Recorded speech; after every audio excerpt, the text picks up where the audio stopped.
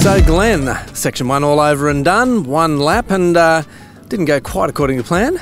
Yeah, no, it was uh, pretty tough. It was uh, 105 k's, and we were stuck behind one car for about 85 kilometres. So yeah, it was pretty tough. But it's probably going to be the same tomorrow. We'll get stuck behind somebody. It's pretty much impossible to pass unless you can get within 200 metres for the push to pass. So yeah, it's a tough gig at the moment.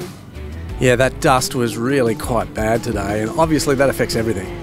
Yeah, look, it was worse than I expected. You know, I mean, we don't want to crash. That's all we did. We spent 85 k's trying not to crash. So uh, we had a few hairy moments where you think you're going down a straight road and we're on the wrong side of the trees and stuff. So yeah, it sort of makes you regroup and just go right. We'll just get to the finish. And how was the conditions other than the dust? Was it a, was it a good good track today? Yeah, like off road is challenging, and that was definitely definitely a challenge. There's a lot of soft sand. Like tomorrow, it'll be really deep rutted, but there's some good fast flowing stuff as well. So it's got a bit of everything. Some narrow gates, and yeah, it's it's real off road.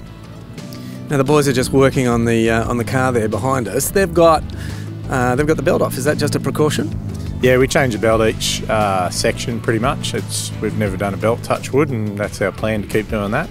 But yeah, the rest of the car's perfect. We uh, you know, obviously we back off a little bit in the dust, so we preserve the car pretty well for tomorrow. So tomorrow is going to be a day of strategy, really, with uh, with the dust. What is the plan? Yeah, just uh, ho- hopefully we can maintain a gap. So like a minute apart is fine, but if you're catching on somebody, then there's really no chance to catch. Uh, to pass them, and then that's a concertina. The cars behind you get behind you as well, so there's no room for error there. So tomorrow we do uh, three laps. So we do two laps and then they have a 45 minute uh, refuel in between and then one lap, but it all counts as one section. So, and you don't know your times in between. So there's a bit of maths and running around trying to find out how everybody else is going. So, but yeah, it's a, tomorrow's a big one. So Dale, a bit of a frustrating day out there with the dust today.